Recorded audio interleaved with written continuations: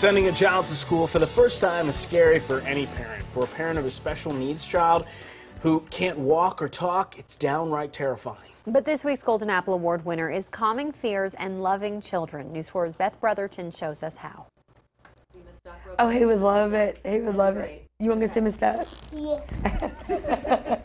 That smile, the joy on six-year-old Jaden Jolly's face when asked if he wants to visit a favorite teacher, Miss Duck. What's my name? Duck. That's right, Miss Duck. Do you know Miss Duck's your first teacher? Yes. I'm, we're always going to be special to each other. Angela Duckworth is the preschool teacher at Spartanburg's McCarthy Teszler School for Special Needs Children. The only handicap is the handicap we put on the children. So we just dream in possibilities. And we've seen so many miracles here.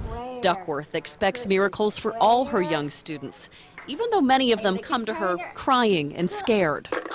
They're three years old. They've never been away from home.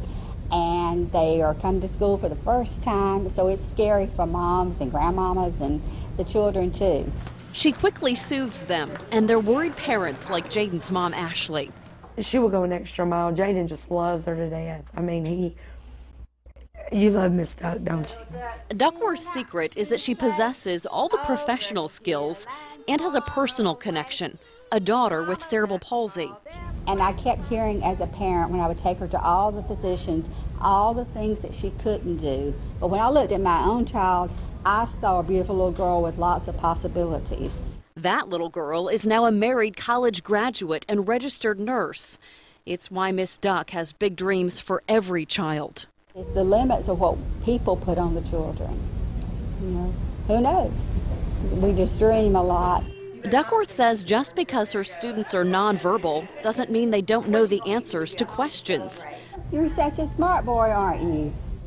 Yes, you sure are.